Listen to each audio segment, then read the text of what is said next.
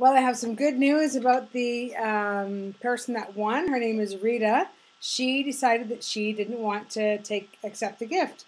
She doesn't um, use perfume, and that was what the gift was this month. So I'm going to do another draw to see who is the big winner for the Quattro hair design for the month of uh, May. Let's see who the winner is. Uh, let me get my glasses. I Let me get my glasses. Just a minute. Here we are. oh dear. Okay, and the winner is Gail McGregor.